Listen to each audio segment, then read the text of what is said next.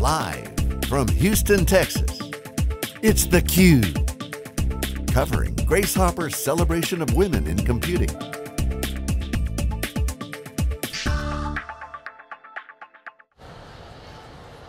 Welcome back. We're here in Houston, Texas at the Grace Hopper Conference.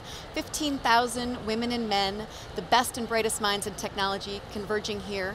I'm joined today with the Junior Fellows, part of the CUBE's Ground Truth Reporting Project. First we have Alicia Mies, who is a senior at Palo Alto High School, also the co-editor-in-chief of Verde magazine.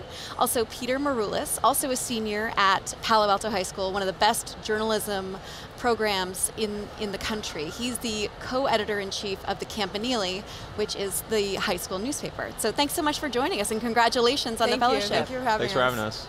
So I'll start with you, Alicia. Talk to me about what you're seeing out here. You're on the ground at the Grace Hopper. It's your first big conference.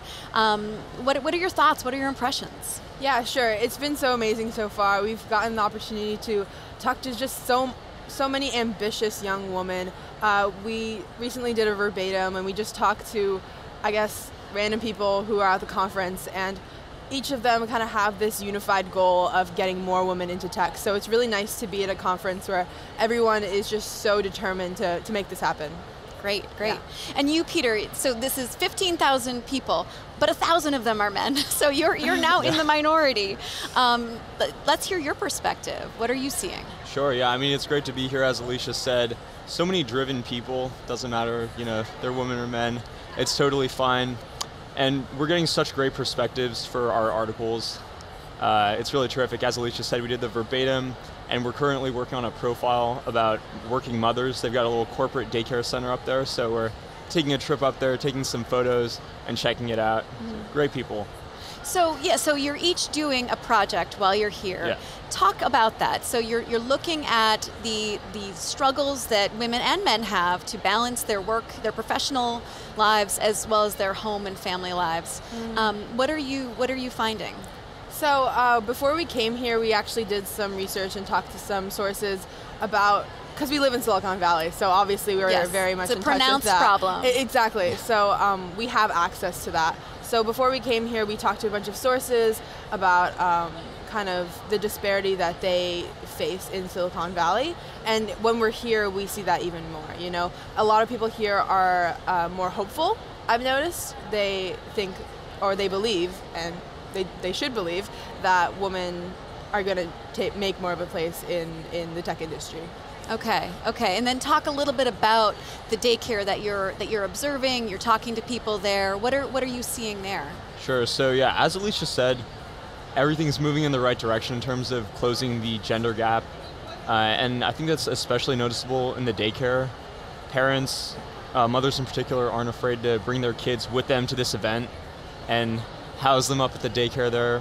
We it's just walked up yesterday. Completely free daycare for attendees of yeah, this conference. Yeah, Yeah. It's Absolutely. amazing. And there's so many kids there. Oh my god. I It's, know. it's zero to 12. They've got this whole room of cribs for the infants. So it's really incredible to see working mothers coming here and bringing their kids and feeling totally comfortable to walk around and everything. It's a very interesting culture. Like it's in the hotel, so it's obviously, um, I guess, far away, kind of far away from right. the, from the actual conference. So uh, there's like zero through two rooms, um, two through Yeah. four rooms, six through twelve. So it's just interesting to see kind of like where the kids go when when the moms are at work. You know.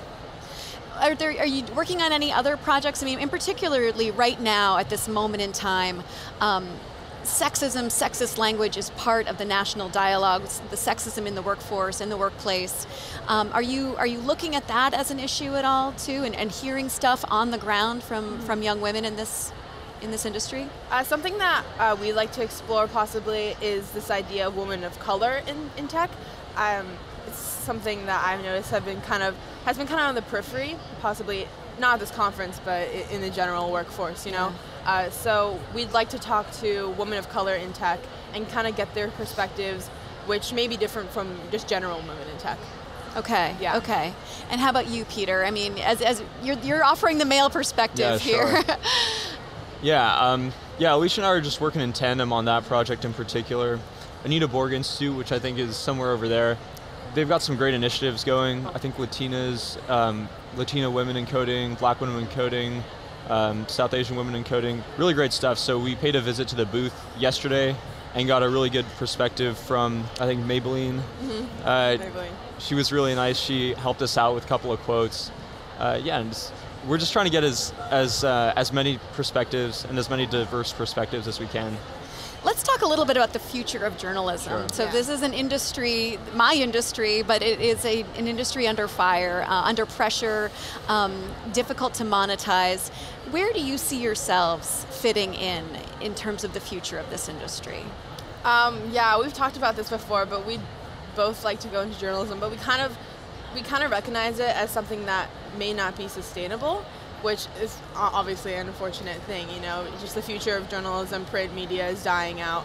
So I personally see myself more um, on the online realm, possibly making like interactive maps and and uh, elements that can be seen uh, from people throughout the whole world. And, and Peter, in terms of you, what, what makes you want to be a journalist, or, or do you want to be a journalist? Oh, absolutely, yeah. Uh, I think, especially this conference is a perfect example. As a journalist, you just float around, talk to a bunch of different people. That's obviously an oversimplification, but it's it's a whole lot of fun.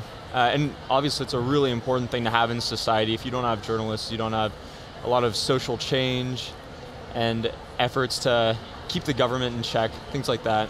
Uh, But obviously, yeah, print media, it's got a limited number of days, so online and digital, that's the way to go in the future. And then in terms of technology, I mean, Palo Alto High School is, is one of the top Oh, high schools in the country.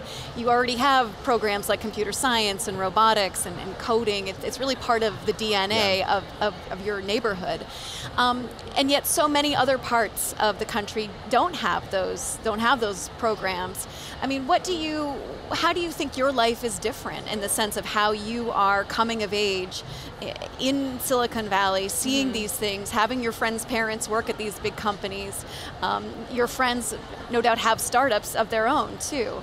I mean, how do you think that has shaped you and then also how you want to tell stories about this industry? Yeah, it's definitely shaped my perspective of really everything. Just the fact that um, young people like us can actually make a difference and come to, to conferences like this, right? Um, I'm currently doing a story about the disparity of education between Palo Alto and East Palo Alto, which is just 10 miles away, yet you know doesn't have like pales in their educational same resources resources. pale in comparison to ours.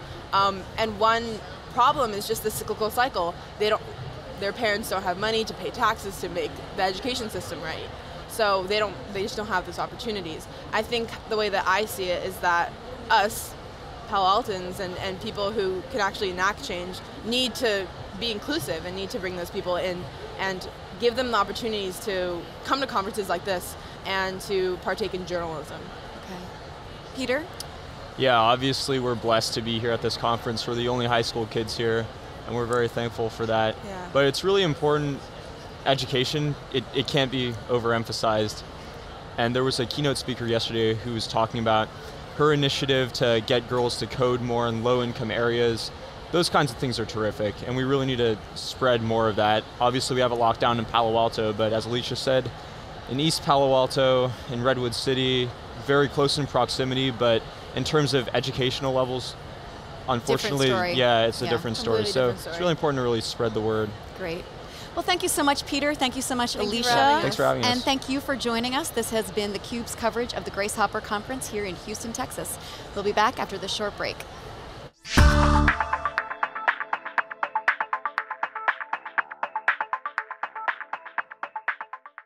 Hi, I'm John